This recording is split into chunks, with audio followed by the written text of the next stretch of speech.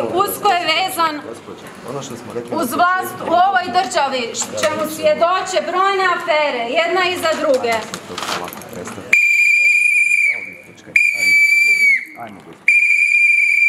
Na početku smo rekli da ćemo konstruktivno razgovarati,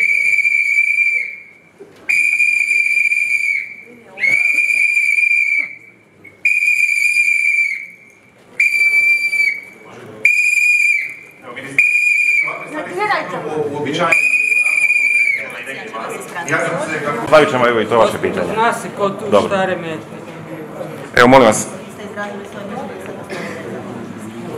Čini se da je smiješno, izlično pitanje da li ima još.